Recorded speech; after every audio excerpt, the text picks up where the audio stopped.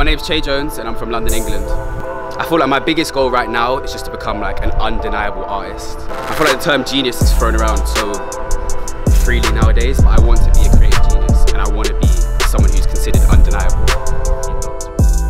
As an artist, you have to be vulnerable. So I believe being vulnerable is what keeps me authentic.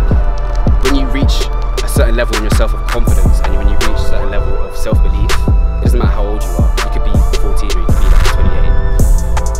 talent has no age.